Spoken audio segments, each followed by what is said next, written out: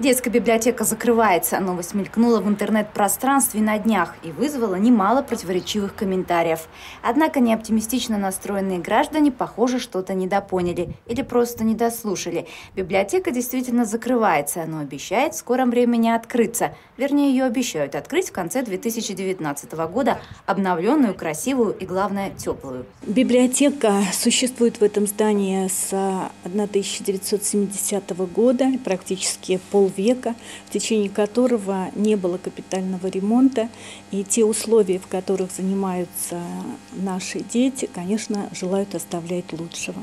У нас э, устарела и не соответствует теплотехническим характеристикам вся фасадная система в здании библиотеки, поэтому предполагается изменить ее на новую, уникальную по своим характеристикам и по солнцезащите, и по энергосбережению. В апреле этого года были проведены геолого-геодезические экспертизы и обмерные работы.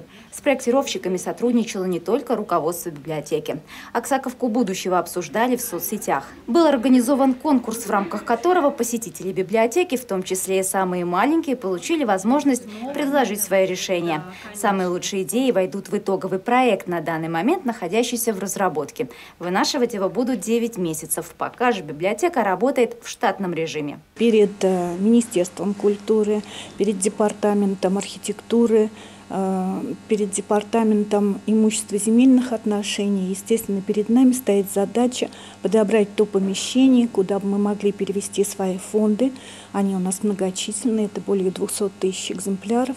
И плюс э, разместить отделы, которые связаны непосредственно с организацией работы с фондами. Из областного бюджета на реконструкцию Оксаковки будет выделено порядка 300 миллионов рублей, после освоения которых в библиотеке, помимо читальных залов, появятся конференции кинозал, школа ораторского искусства, кафе, книжный магазин и даже зимний сад – Масштабная реконструкция ждет и территорию перед библиотекой. 11 гектаров земли постараются использовать максимально эффективно.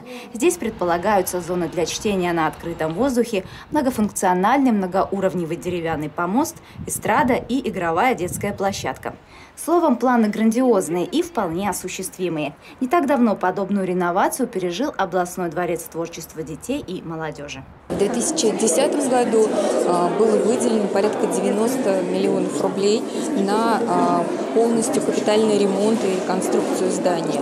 А, была заменена, произведена замена инженерных систем, облицовка здания. Все, что вы видите внутри, это все отремонтировано на эти средства. Кроме того, порядка 40 миллионов выделено дополнительно на оборудование у нас э, имеется огромный концертный блок, и в зале э, заменены механизмы сцены. Кроме того, были оснащены э, аудитории образовательные различным оборудованием. Это и 100 компьютеров, это 10 интерактивных досок, это серверная, плазмы, и многое другое. В ближайшем будущем библиотека, дворец молодежи и прилегающие к ним территории должны стать средоточием знаний и увлекательного досуга. Привлечь сюда жителей области и туристов должен и еще один проект. Я бы хотел э, напротив э, вас и Дворца э, молодежи, пионеров разместить вот эти все 100 книг, основных 100 книг, которые должен знать каждый молодой человек если он хочет с гордостью говорить о том, что он гражданин России. Э, не знаю, в какой форме. В форме памятника каждой книги. В форме, так сказать, там, я не знаю, э, какой-то интерактивной вещи. И меня нисколько не смущает о том, что сегодня пока далеко не все это поддерживают. После завершения масштабной реконструкции библиотека имени Аксакова получит статус Дворца детской книги. Ее сотрудники уже сейчас обратились с просьбой к Сергею Морозову дополнить новый статус званием губернаторский. Гульнара Шарипова, Александр Кудряшов, репортер 70.